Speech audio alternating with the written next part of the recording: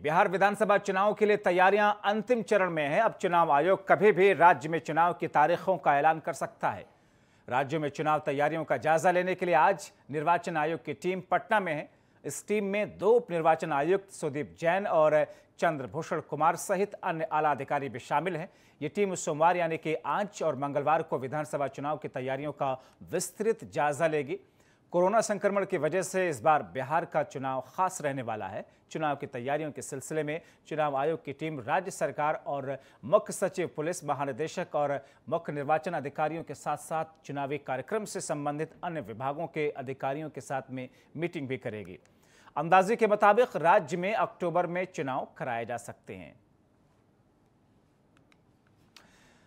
रुख सीधे करेंगे हमारे सहयोगी और रेजिडेंट एडिटर दीपक प्रियदर्शी जुड़े हुए हैं। दीपक तमाम तरह की प्रक्रियाएँ आगे बढ़ रही हैं। क्या माना जाए कि जल्द हो सकता है? तारीखों का ऐलान?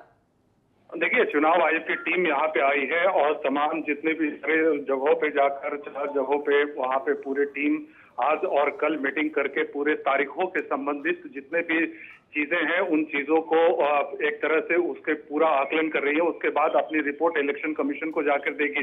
पहले मुजफ्फरपुर में टीम ने मीटिंग की, अब पटना में थोड़ी देर के बाद पटना में यहाँ मीटिंग शुरू होगी और यहाँ पे पटना में तमाम जितने भी अधिकारी हैं, वो अधिकारी यहाँ मौजूद होंगे और तमाम इन बारह जिलों के आसपास के ज़िले के एसपी और तमाम बड़े अधिकारी यहाँ पर मौजूद होंगे।